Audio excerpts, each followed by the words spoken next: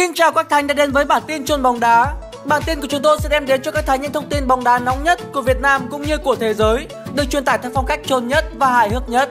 Bản tin được phát sóng đều đặn vào 8 giờ tối thứ tư hàng tuần trên kênh chôn bóng đá. Kính mời các thành hãy nhấn nút subscribe để tiện theo dõi. Những gì không thể mua được bằng tiền thì sẽ mua được bằng rất nhiều tiền. Đó là một chân lý trên thị trường chuyển nhượng thời này. Và chân lý đó đã đưa Coutinho cập bến Barca trong tuần qua. Một năm trước thôi, anh còn hạn hợp đồng với Liverpool. Cam kết sẽ gắn bó và nói sẽ sẵn sàng cùng Liverpool đánh bại cả Barcelona. Mà giờ đây anh đã là người của Barca mất rồi. Fan Liverpool chắc hẳn đang buồn lắm. Họ đang khóc như trong video này đây. I haven't cried like that since Titanic. Bởi tuy họ mất Coutinho, nhưng họ đã đem về số tiền 142 củ bảng, lãi hơn 130 củ so với lúc mua anh về. Liverpool giờ đã xóa ngôi Arsenal ở khoản mua bán rồi. Họ chuyên bán xỉ, bán lẻ các ngôi sao, từ Alonso, Torres, Sterling, Suarez đến Coutinho. Thằng nào đã hay họ bán hết, đều lãi rất nhiều. Sau đó lại dùng tiền lãi đó mua hàng của Southampton rồi hàng ngon lại bán cho Barca. Cứ thế năm này qua năm khác, nó thành một chuỗi cung ứng sản phẩm khép kín. Nếu vài năm nữa ta nhìn thấy Mane hay Salah đứng chụp ảnh cùng với chiếc áo của Barcelona thì cũng đừng bất ngờ. Đó là chuyện đã được chôn bóng đá tiên đoán từ ngày bây giờ. Về phần Barca thì họ đang chứng tỏ nhà họ méo có gì ngoài điều kiện. Năm ngoái tậu Dembele, năm nay hốt Coutinho, hai bản hợp đồng đắt giá thứ ba và thứ hai thế giới. Đội hình hiện nay đã quá chất rồi, giờ họ mua thêm cu tí vào nữa. Đủ hiểu tham vọng của Barca trong thời gian tới nó to lớn như thế nào. Bên phía Real thì mãi chẳng thấy động tĩnh gì. Barca đang nổ tung trời như kia mà Perez chẳng thấy đem về quả bom tấn nào. Không biết là ông anh đang định ủ mưu tính kế hay là đang hết tiền nữa. Ở La Liga thì Barca vẫn đang là ông trùm. Họ có chiến thắng ba nho trước Levante còn Real Madrid có lẽ đã đầu hàng rồi. Ronaldo và đồng đội đã dương cờ trắng trong cuộc đua vô địch. Họ hòa nhau với Celta Vigo, khiến khoảng cách giữa hai đội bây giờ đã là 16 điểm. Quá khó cho kênh kiến trắng để lật ngược lại được tình thế. Barca thì đóng phân khối lớn chạy vèo vèo. Còn Real thì cưỡi lợn chạy như kia làm sao mà đua nổi.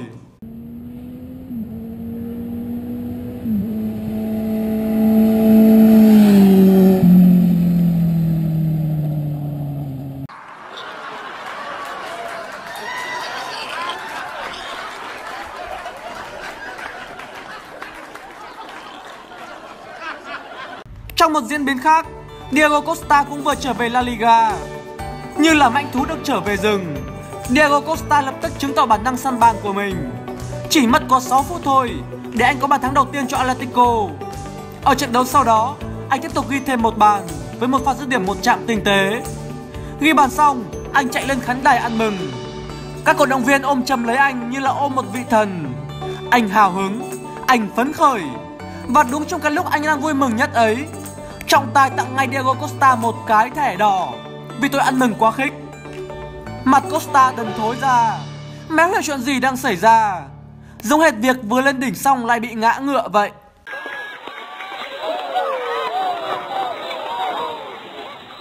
Chelsea đang cho cả thế giới thấy Chiến lược chuyển nhượng bá đạo trên từng hạt gạo của mình. Họ bán Omo Matic cho Emu với giá 40 củ. Nhìn Matic tỏa sáng ở Old Trafford rồi sau đó lại dốc tiền đi mua Bakayoko Drinkwater Và vừa rồi là Ross Buckley. Tất cả chỉ để khoản lấp vào vị trí mà Omomatic đã để lại. Vâng, tôi thật méo hiểu. Thật méo hiểu nổi là Chelsea đang toan tính điều gì nữa. Arsenal sau trận hòa với Chelsea Họ nhận ngay một cú tát thẳng vào mặt. Cú tát mang tên Nottingham Forest. Các pháo thủ đã chính thức bị đội bóng cũ của Lord Banner loại khỏi cúp FA nơi mà họ đang là đương kim vô địch. Sau trận thua 2-4 quá tồi hổ thì chu kỳ buông đã được kích hoạt. Năm nào cũng thế và lần nào cũng vậy.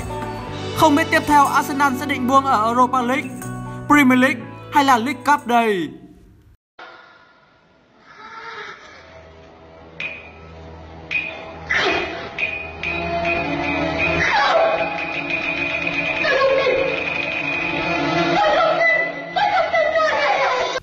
Jesse Lingard đang là ngôi sao vàng của làng MU. Trong những trận đấu vừa qua, anh không thể ngừng ghi bàn. Và đó đều là những bàn thắng rất quan trọng đem về chiến thắng cho MU. Đó là khoảnh khắc bạn chợt nhận ra. Cứ mỗi năm thì MU lại có vài cầu thủ nổi lên ở mức hiện tượng. Từ Bebe, người có nhiều cúp ngoại hạng Anh hơn cả Steven Gerrard. Rồi Gason Macheda, cả hai đều mất tích ngày sau đó. Gần hơn là Januzaj, được mệnh danh là Ronaldo mới, nhưng rồi cũng bị cho mượn khắp nơi. Pokemon Martian thì cũng nổi lên như thánh, xong rồi phải mài đít trên ghế dự bị. Gần đây hơn là Radford, được tăng lên mây nhưng rồi cũng chỉ đá ở mức làng nhàng. Và bây giờ là Lingard, đã tiếp bước những cầu thủ kia, trở thành đôi cánh nâng bước cho quỷ đỏ. Không biết là rồi sau đây, sự nghiệp của anh sẽ tiếp tục nở hoa hay là rơi xuống bế tắc nữa. Gotta get get. Gotta get that. Gotta get that, that, that, that, that. Gotta get that.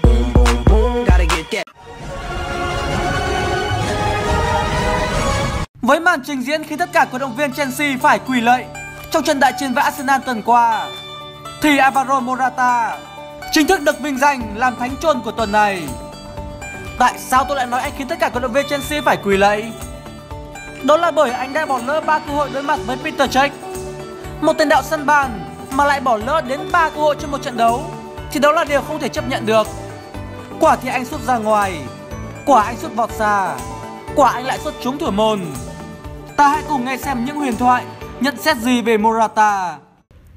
Theo tối thì Morata đã làm rất tốt trong tình huống đó. Nhưng pha xử lý như vậy là rất đúng quy trình là một cú sút chuẩn đối với những tiền đạo mang họ trần gỗ. Anh thấy tôi nói thế có đúng không Giroud? Ồ đúng là như vậy. Tôi đồng tình với quan điểm của anh Helbeck trong trường hợp này. Tôi rất thông cảm với Morata vì trong sự nghiệp của tôi cũng thường xuyên có những pha dứt điểm như thế. Xin mọi người đừng chỉ trích thằng bé nhiều quá. Tội cho nó. Còn anh thấy sao, anh Torres? Riêng tôi thì lại thấy Morata giật rộng tối ngày trước. Tôi cũng mặc áo số 9, đá tiền đạo, người Tây Ban Nha, đẹp trai. Và nếu xem lại pha chuyển hóa bàn thắng thành cơ hội của tôi trong trận gặp MU ngày xưa, thì mấy quán này của Morata chẳng thấm tháp gì. Sau này mong là Morata cũng răn được nhiều răn hiếu cùng Chelsea như là tôi ngày trước. Nhìn sang Diego Costa với hai bàn thắng sau hai trận ở Atletico, chắc hẳn Chelsea đang thèm muốn lắm, đang nhớ anh lắm. Xét về bản năng sân bàn và sự tinh quái thì Costa chắc chắn hơn Morata một bậc. Nhìn sang Lukaku, thì hóa ra Morata cũng chẳng ngon hơn là mấy. Xét cho cùng, chỉ tội nhất hai người. Đó là De Gea và Hazard. Ở câu lạc bộ, thì De Gea phải chống chọi với Lukaku. Sợ anh ấy kiến tạo cho đối phương bất kỳ lúc nào. Lên tuyển thì gặp phải Morata. Thánh bỏ lỡ cơ hội. Hazard cũng thế. Ở câu lạc bộ thì đã gặp với Morata truyền cho bao nhiêu quả ngon ăn cũng đều bỏ phí Về tuyển cũng gặp ngay thánh Lukaku vui tính hay kiến tạo cho đội bạn. Thật đúng là quá khổ cho hai anh. Advised to withdraw, but he, he fought on. He doesn't like squats, he says. Morata đầu vàng, chân gỗ Đánh đầu rất giỏi nhưng đá chân rất dở. Để khắc phục tình trạng trên Để Morata sẽ không còn bỏ lỡ cơ hội khi đối mặt với thủ môn nữa thì chúng tôi xin đề xuất cho anh một giải pháp. Đó chính là mỗi khi anh đối mặt với thủ môn, thay vì sút, anh hãy tâng bóng lên đầu rồi sau đó đánh đầu. Như thế thì khả năng ăn bàn sẽ tăng lên đáng kể. Vì đầu anh vàng mà, đánh đầu giỏi mà sút tù thì hãy dùng cách ấy để có một bàn thắng chất nhất.